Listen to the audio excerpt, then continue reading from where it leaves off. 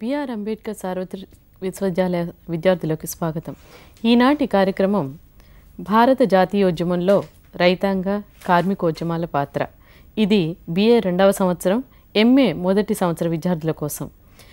భారత జాతీయోద్యమ మహాస్రవంతిలో భాగంగానే అనేక పోరాటాలు వచ్చినాయి. వాటిలో ముఖ్యమైనవి రైతాంగ కార్మిక ఉద్యమాలు భారతదేశాన్ని పరిపాలించిన మధ్యయుగ పాలకులు ఆ సాంప్రదాయక గ్రామీణ వ్యవస్థను ఏ విధంగానూ మార్చకుండా వాటిని తమ విధానాలుగా మలుచుకున్నారు. అయితే బ్రిటిష్ వారి పాలన వచ్చేసరికి ఈ గ్రామీణ వ్యవస్థలో అనేక మార్పులు వచ్చినాయి. కొత్తగా జాగిర్దారి వ్యవస్థ ఈ రైతువారి వ్యవస్థ ఈ విధంగా అనేక పెనుమార్పులకి భారతదేశం లోనైంది.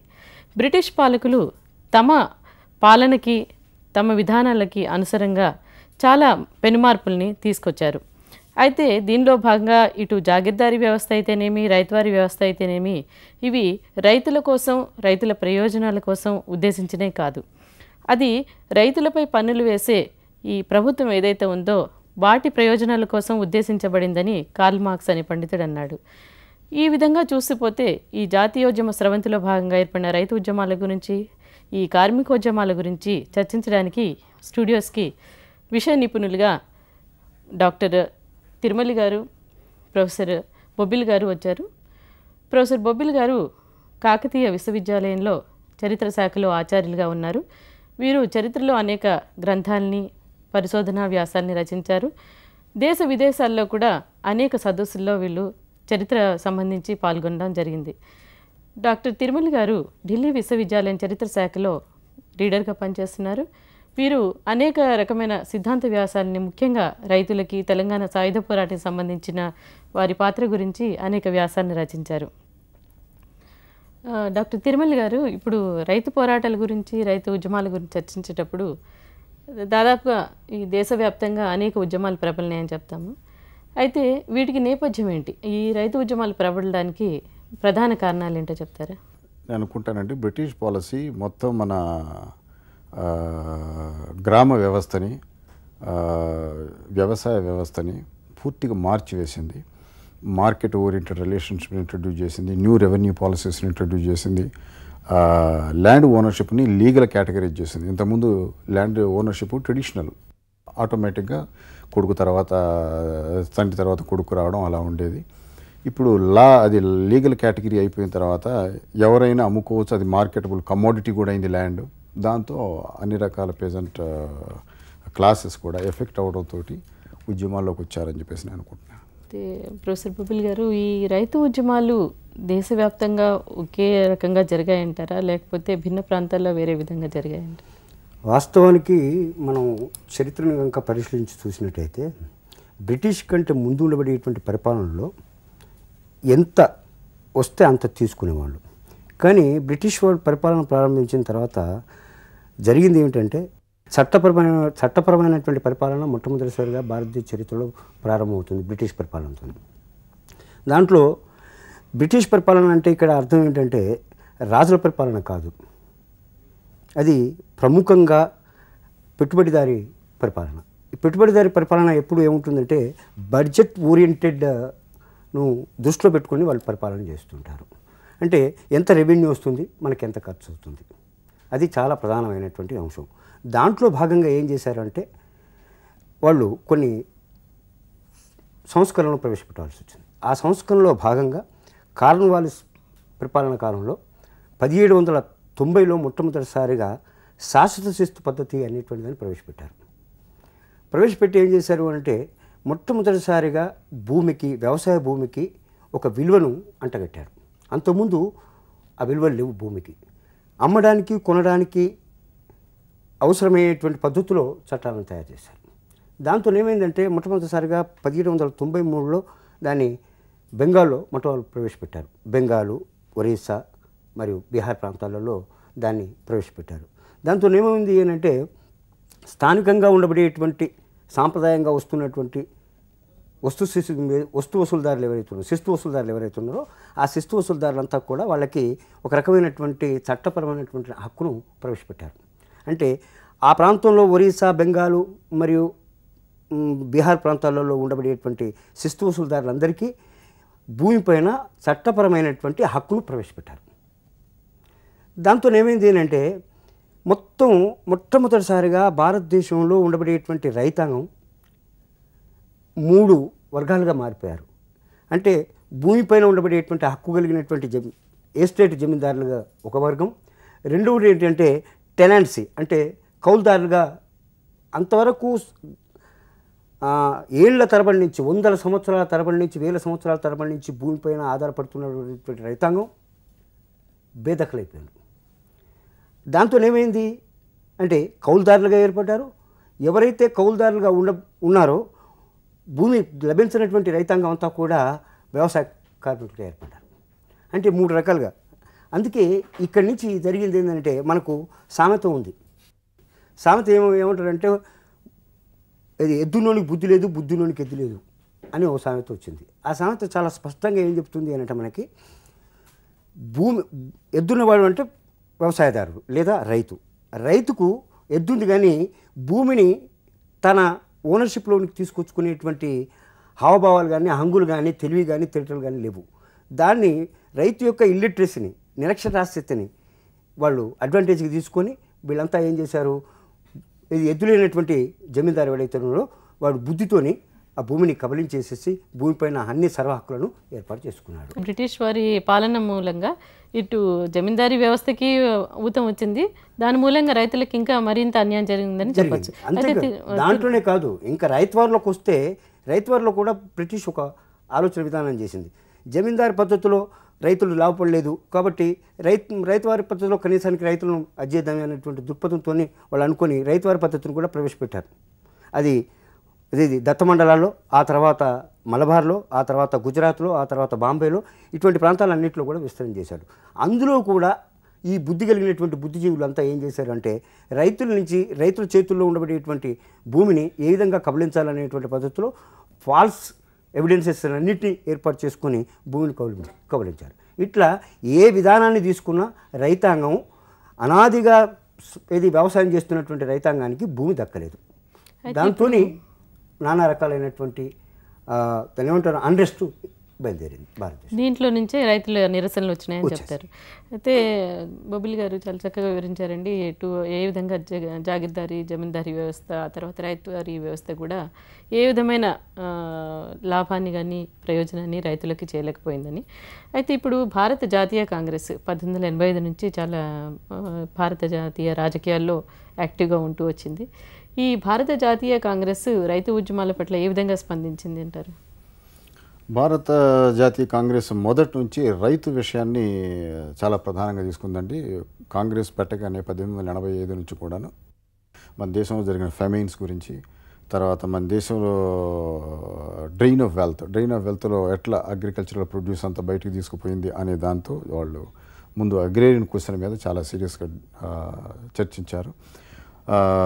రైతు కుటుంబాలు పతనం అవడానికి రైతు వ్యవసాయం పతనం అవడానికి గల కారణాలన్నీ కూడా మన ఆర్సీ దత్త పుస్తకంలో కానీ ఇంకా మిగతా అందరి రచనలో కనపడుతూ ఉంటాయి.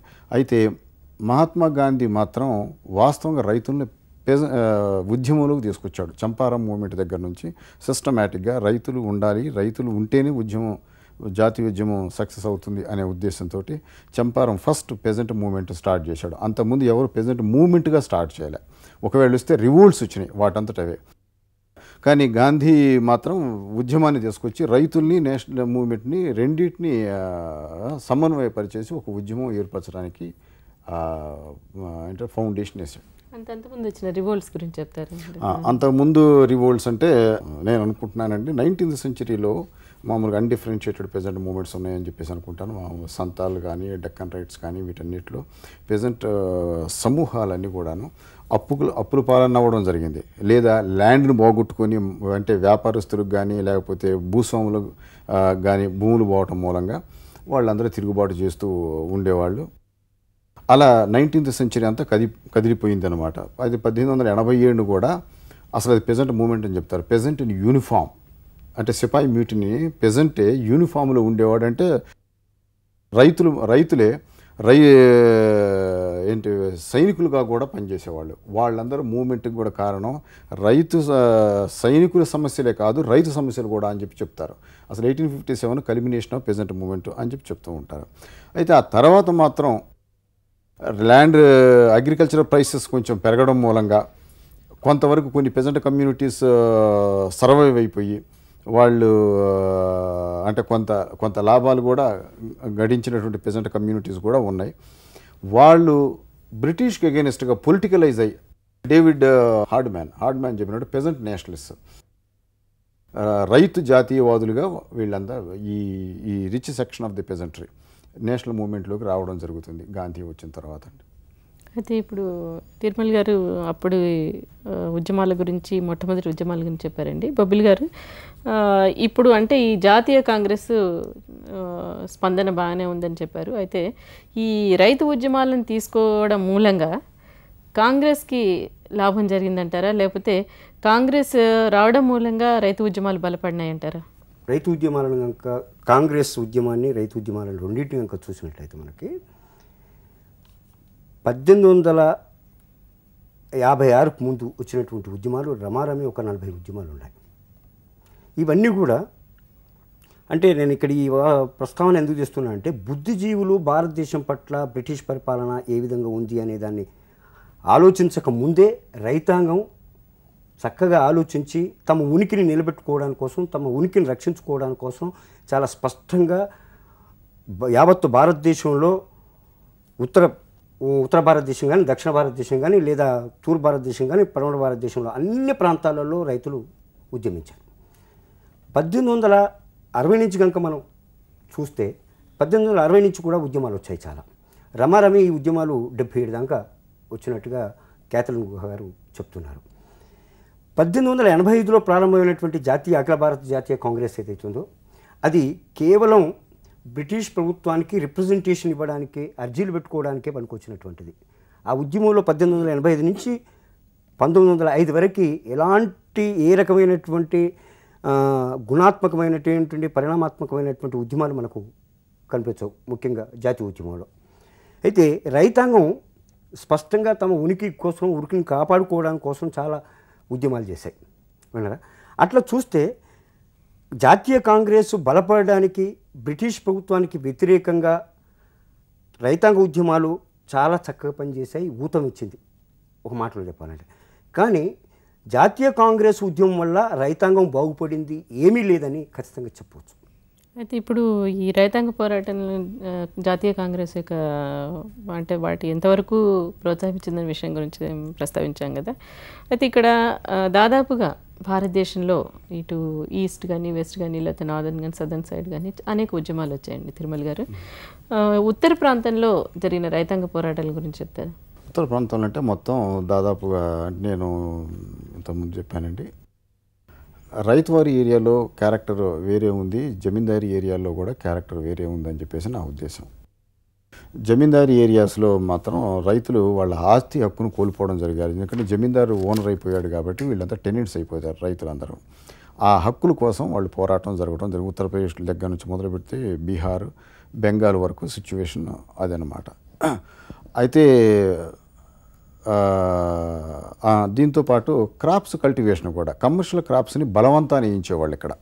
ఆ క్రాప్ కల్టివేషన్ కూడా ఎగెనిస్ట్గా వీళ్ళు ఒక ఉద్యమాలు చేశారు. ఇండిగో ప్రధానంగా. ఇండిగో అంతా కూడా బ్రిటిష్ మర్చెంట్ చేతిలో ఉండేది వ్యాపారం. ఆ వ్యాపారం వాడి చేతిలో ఉండి బలవంతాన రైతుకు కొంత బ- కొంత భూమిని దానికి డివోట్ చేయలేకపోయినా కనీసం రైతు నార్మల్గా ఏం చేస్తాడు? మొట్టమొదటి ఫుడ్ గెయిన్స్ కోసం ఇంపార్టెన్స్ ఇస్తాడు. ఆ ఫుడ్ గెయిన్స్ కూడా ఇంపార్టెన్స్ ఇవ్వకుండా బలవంతాన్ని ఇండిగో వేయించేవాళ్ళు ఫుడ్ గెయిన్స్ సప్లై చేసేవాళ్ళు. ఫుడ్ గెయిన్ మార్కెట్లో వీళ్ళు కొనుక్కో మార్కెట్ రేటుకు అమ్మేవాళ్ళు. ఇండిగోని మాత్రం వీళ్ళ ఇష్టం వచ్చిన రేటుకు వీళ్ళు కొనుక్కునేవాళ్ళు. అలా అనమాట అంటే ఇండిగో కొనడంలోనూ ఫుడ్ గెయిన్ సప్లై చేయడంలోనూ వ్యాపారస్తుడే లాభపడ్డాడు కానీ రైతు లాభపడలేదు. సో అలా దాదాపు మనకు లేట్ నైన్టీన్త్ సెంచరీ నుంచి ఈ ఇలాంటి సిచ్యువేషన్ ఉండేది. అలా ఉ- ఉద్యమ ఉద్యమాలు రావడానికి కారణమైంది అంటే బొబ్బిల్ గారు ఇప్పటివరకు ఉత్తర ప్రాంతం గురించి గమనించాం కదండి. అయితే ఇప్పటివరకు ఈ రైతు ఉద్యమాలని చూస్తే కనుక అవి ప్రాంతీయ తత్వాన్ని ఎక్కువగా కలిగి ఉన్నాయి. అంటే దాదాపు అంటే ప్రాంతీయ తత్వాన్ని కాకుండా తమ హక్కుల కోసం అంటే భూమి కోసమో లేకపోతే దాంట్లో పన్నుల మినహాయింపు కోసమో ఆ విధంగా ఈ చంపరాన్ కానీ బర్దోలు కానీ చూస్తే మనకు కనిపిస్తాయి. అయితే వీటిల్లో ఈ రైతాంగ పోరాటంలో విముక్తి పోరాటాలు ఏమన్నా ఉన్నాయా? అంటే విముక్తి కోసం లిబరేషన్ కోసం చేసిన పోరాటాలు ఏమన్నా ఉన్నాయంటారా అలా చూస్తే నేను ఇంత క్రితం చెప్పినట్టుగా రమారమి డెబ్భై ఏడు డెబ్భై ఉద్యమాలు రైతాంగ ఉద్యమాలు వచ్చాయని చెప్పాం కదా. వీటిని బ్రాడ్గా మనం వాటి యొక్క స్వభావాన్ని బట్టి కనుక విభజించి చూసినట్టయితే వ్యాపార పంటలకు వ్యతిరేకంగా ఉద్యమాలు చేసినటువంటి ఉద్యమాలు ఉన్నాయి. అందులో ముఖ్యంగా బెంగాల్లో వచ్చినటువంటి పద్దెనిమిది వందల అరవైలో వచ్చినటువంటి మన డాక్టర్ తిరుమల గారు అన్నట్టు మన నీలిమందు పంటలు ఏవైతున్నాయో ఆ వ్యాపార పంట అనమాట ఈ నీలిమందు వ్యాపార పంటలు అటు బెంగాల్లో వచ్చాయి అట్లాగే ఒరిస్సాలో కూడా వచ్చాయి. అట్లాగే చంపారాన్ అప్పుడు ఈ ఉద్యమాల్ని మనం వ్యాపార పంటలకు వ్యతిరేకంగా రైతాంగం పోరాటం చేసినటువంటి ఉద్యమాలు అనవచ్చు. ఇది ఒక కేటగిరీ. రెండో కేటగిరీ మరి మలబార్లో మరియు పాపనాలో వచ్చినటువంటి రెండు ఉద్యమాలు ఉన్నాయి. ఇవి జమీందారులకు వ్యతిరేకంగా మరియు టెనాంట్స్ ఎవరైతే ఉన్నారో కౌలుదారులు ఎవరైతే ఉన్నారో వాళ్ళు వాళ్ళ వాళ్ళ రైట్స్ కోసం వాళ్ళ హక్కుల కోసం వాళ్ళు పోరాటాలు చేసినటువంటి ఉద్యమాలు అంటాం. ఇది రెండో రకమైనటువంటి ఉద్యమాలు రైతాంగ ఉద్యమాలు. మూడో రకమైనటువంటి ఏంటంటే డక్కన్ రైట్ ఉద్యమం. ఇది డక్కన్ రైట్ ఉద్యమం ఏంటంటే కేవలం పర్టికులర్గా వడ్డీ వ్యాపారస్తులకు వ్యతిరేకంగా వచ్చినటువంటి ఉద్యమం ఇది. నాలుగో రకమైనటువంటి ఉద్యమం ఏంటంటే ఓవరాల్గా లిబరేషన్ కోసం విముక్తి కోసం పోరాడినటువంటి ఉద్యమాలు. అవి దాంట్లో మనం అస్సాం ప్రాంతంలో వచ్చినటువంటి తేబాగ్ చాయి తెలంగాణలో వచ్చినటువంటి సాయుధ రైతాంగ పోరాటం ఏదైతే ఉందో ఇవి రెండింటిని మనం అందులో ఇన్క్లూడ్ చేసుకోవచ్చు. ఈ విధంగా ప్రాంతాల వారీగా వాళ్ళ వాళ్ళ సమస్యల పట్ల అవగాహన చేసుకొని ఏ విధంగా వాళ్ళు వాళ్ళ ఉనికిని కాపాడుకోవడానికి మరి జమీందారులకు వ్యతిరేకంగా జాగీర్దారులకు వ్యతిరేకంగా మరియు భూస్వాములకు వ్యతిరేకంగా ఈ రైతాంగం తిరగబడ్డది అనేది ఈ రకంగా మనం నాలుగు రకాల ఉద్యమాలను చెప్పవచ్చు. తిరుమల గారు పబ్బుల్ గారు ప్రస్తావిస్తూ తెలంగాణ అంటే ఇటు బెంగాల్ అస్సాం ప్రాంతంలో కానీ తెలంగాణ ఉద్యమం గురించి ప్రస్తావించారు.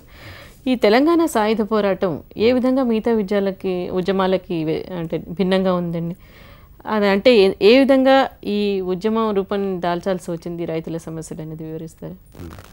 తెలంగాణ ఉద్యమం మిగతా ఉద్యమాల కంటే చాలా భిన్నం అండి. ఎందుకంటే ఇది మాస్ పార్టిసిపేషన్లో చాలా ఎక్కువ. ఇంత లార్జ్ స్కేల్ పార్టిసిపేషన్ మనం ఎక్కడా చూడం. స్త్రీలు పురుషులు పిల్లలు. చిన్నపిల్లలు కూడా. ఒక డైలీ వెంకట అనే అబ్బాయికి డెత్ సెంటెన్స్ కూడా పడింది. సో అలా చిన్న పిల్లలతో సహా అందరూ పార్టిసిపేట్ చేశారు. ఆ ఆ సెన్స్తో ఇది వెరీ uh, డిఫరెంట్ అండ్ దాంతోపాటు ఇంకా ఏంటంటే uh, పురుషులు స్త్రీలు అనేటువంటి భేదం లేకుండా ఫ్యామిలీస్ ఫ్యామిలీస్ పార్టిసిపేట్ అయినాయి. అంత పార్టిసిపేషన్ మిగతా చోట్ల కూడా చూడడం ఇంకా అందరికీ తెలిసిన విషయమే ఇది ఆర్మ్డ్ స్ట్రగుల్ స్టేజ్కి పోయింది. సాయుధ తీసుకొని- పోరాట రూపం Yes, దాల్చిందండి. yes, మిగతా చోట్ల పోరాటం. మిగతా చోట్ల కాదు ముందు గుతపలు అనేవాళ్ళు కదా గుతపలు తీసుకున్నారు. ఆ తర్వాత గన్స్ తీసుకోవడం జరిగింది. అది ఓపెన్ బ్యాటిల్స్ జరిగినాయి. ఆ తర్వాత స్క్వాడ్స్ ఫామ్ అవడం జరిగింది. అండర్ గ్రౌండ్లో ఉండి పనిచేయడం జరిగింది. సో ఇలా ఈ ఇలా చూస్తే ఇది డిఫరెంట్ అనిపిస్తుంది. అంతేకాదు ఆబ్జెక్టివ్స్ కూడా డిఫరెంట్. ఆబ్జెక్టివ్స్ నార్మల్గా అంటే మనం తెలంగాణ లిటరేచర్లో ఏం తెలుస్తుందంటే భూమి కోసం భుక్తి కోసం పోరాటం చేశారు అని చెప్పేసి. కానీ క్లోజ్గా కొన్ని ఇంటర్వ్యూస్ అవన్నీ చూస్తే భూమి భుక్తే కాదు. అసలు న్యాయమే లేదు ఇక్కడ. దొరల రాజ్యం పూర్తిగా మన యొక్క మన స్వతంత్రాన్ని హరించి వేసింది కాబట్టి దొరల రాజ్యాన్ని పతనం చేయాలి. దొరల రాజ్యం ప్లేస్లో ప్రజారాజ్యం రావాలా? రైతు రాజ్యం రావాలా కూలీల రాజ్యం రావాలా అనే ఉద్దేశంతో చేశారు. అంటే ఐ థింక్ నేను మిగతా మూమెంట్స్కి ఇలాంటి పొలిటికల్ వ్యూ uh, లేదు. రాజకీయ రాజకీయమైన దృక్పథం ఉంది. దొరల రాజ్యంలో దొరకే భూమి ఉంటుంది. మనకు భూమి కావాలి అంటే దొర భూమిని తీసుకోవడం కాదు దొరను పతనం చేయాలి అనేటువంటి అంటే రాజకీయ తత్వం కూడా దీనికి కనపడిందండి. ఐ థింక్ అన్ని మూమెంట్స్కి అలాంటి uh, అంత మెచ్యూరిటీ లేదు. అని నేను అనుకుంటున్నాను. అయితే ఈ లక్ష్యాన్ని ఎంతవరకు సాధించిందంటారు? లక్ష్యాన్ని కొంతవరకు సాధించినారు. గ్రామ రాజ్యాల్లో గ్రామ రాజ్యాలు ఫామ్ అయినాయి. నిజాం నుంచి బ్రేక్ అవే అవడం జరిగింది. గ్రామ రాజ్యాలు చాలా సిస్టమేటిక్గా ఒక ఇద్దరు కూలీలు ఇద్దరు రైతులు ఒకళ్ళు ఇద్దరు ధనిక రైతులుతో పాటు గ్రామ రాజ్యాలు ఏర్పరచుకున్నారు. భూమి ఎవరి భూమి ఎవరికి చెందిందో అవన్నీ చూశారు. రికార్డులు చూశారు. ఊళ్ళో సాక్ష్యాలు తీసుకున్నారు. దాని ప్రకారంగా ట్రాన్స్ఫర్ చేయడం కూడా జరిగింది. ఎవరి భూమి వాళ్ళకి వచ్చేట్టు చూడటం కూడా జరిగింది. కొంతవరకు జరిగింది. సో దాని దగ్గర చాలా డిస్ప్యూట్స్ వచ్చినాయి చాలా కంప్లైంట్స్ వచ్చినాయి. దాంతో గ్రామ రాజ్యాల్లో కొంత అంటే అనైక్యత రావడం జరిగిందనుకోండి. బట్ ఇందులో కూడా భూమి పంచుకునేటప్పుడు కూడా నేను కొన్ని చో- కొన్ని సంఘటనలు చూశాను. దొర భూమిలోకి వెళ్ళిపోయి గడలు తాళ్ళు తీసుకొని పోయి ఈ భూమిని నేను దున్నేవాడిని ఈ భూమి నువ్వు దున్నేవాడి ఈ దొర ఆక్యుపై చేసుకోండు అని చెప్పి తీసుకునేవాళ్ళండి. అది నిజంగా వాళ్ళు స్వతంత్రం అనుకున్నారు. దొర భూమిలో అడుగు పెడితే కొట్టేవాడు అడుగు పెడితే తన్నేవాడు పోలీస్ కంప్లైంట్ ఇచ్చేవాడు. సో అలాంటి దొర భూమిలోకి వీళ్ళు పోవడమే కాకుండా ఇది నాది అని చెప్పి నిలబడి వాళ్ళు అన్నారు ఇది మాకు నిజమైన స్వతంత్రం అంటే మా భూమిని మేము అనగలిగాము అని చెప్పేసి అన్నారు. అలాంటిది ఐ థింక్ ఆ సైకలాజికల్ అండ్ రియల్ అంటే ఆక్యుపేషన్ ఆఫ్ ల్యాండ్ ఏదైతే ఉందో అది నిజంగా ఫ్రీడమే అని చెప్పి అనుకున్నారు. అది దక్కకపోవచ్చు తర్వాత అది డిఫరెంట్ అనుకోండి. అయితే బొబ్బిల్ గారు భూమి కోసం భుక్తి కోసం చాలా వరకు లక్ష్యాల్ని సాధించారు తెలంగాణ సాయుధ పోరాటాలు అని చెప్పారు కదా. అయితే ఈ సాంఘిక అసమాన అసమానతలు ఏవైతే ఉన్నాయో వెట్టి కానీ దాసి వ్యవస్థ కానీ ఇవి ఎంతవరకు రూపుమాపగలిగినాయి అంటారు ఈ సా- తెలంగాణ సాయుధ పోరాటంలో? తెలంగాణ సాయుధ రైతాంగ పోరాటం ఏదైతుందో సామాజిక శాస్త్రజ్ఞులు చెప్పిన పద్ధతులు చెప్తే వాళ్ళ ఆర్థిక కారణాలు చెప్తారు ఇంకేదో కారణాలు చెప్తారు. కానీ తెలంగాణలో ఓ సంస్కృతి నేపథ్యం ఉంది. ఆ సంస్కృతి నేపథ్యం ఏంటంటే వెట్టి అనేటువంటి చాలా ప్రధానం. ఈ వెట్టి ఎలా వచ్చింది దాని ఆవిర్భావం ఏంది అని కనుక మనం పరిశీలించి చూస్తే ఎప్పుడైతే తెలంగాణలో భూమిపైన ఒక రకమైనటువంటి సంతలో అమ్మ అమ్మగలిగి కొనగలిగేటువంటి వ్యవస్థ ఏదైతుందో మార్కెట్ ఓరియంటెడ్ వాల్యూస్ని ఎప్పుడైతే భూమికి అంటగట్టారో ఆ రోజు నుంచి రై- తెలంగాణ రైతాంగానికి భూములు దక్కకుండా పోయాయి.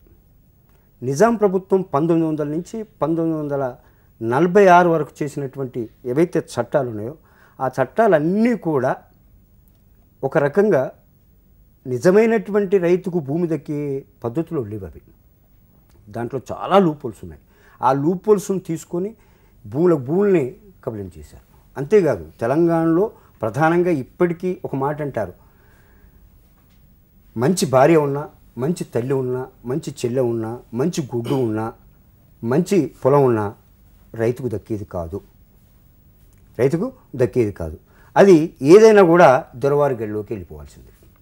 ఆ విధంగా ఏమవుతుంది అంటే ఇప్పటికి మీరు కనుక పెళ్ళిళ్ళని కనుక పరిశీలించి చూసినట్టయితే పెళ్ళి అనంతరం వధువు వరుడు ఇద్దరు కూడా ఊరేగింపు తిరుగుతూ రెండు దిక్కులు ఆగుతారు. ఒక దిక్కున ఏంటి అంటే గుడి దగ్గర రెండో దిక్కున గడి దగ్గర. గుడికి పోయి దండం పెట్టుకోవాలి గడిలోకి పోయి దొరవారికి దండం పెట్టాలి. దొరవారేమో ఆ అమ్మాయికి కన్ను ఇస్తాడు లేదా రేపుకి గుడ్డ ఇస్తాడు మగవాడికి ఎత్తును తువాలిస్తాడు ఈ ఆచారం మనకి బాణభట్టుడు రాసినటువంటి అర్థచరిత్రలో చాలా స్పష్టంగా ఇవ్వబడింది? ఆ ఆచారం తెలంగాణలో ఉన్నది.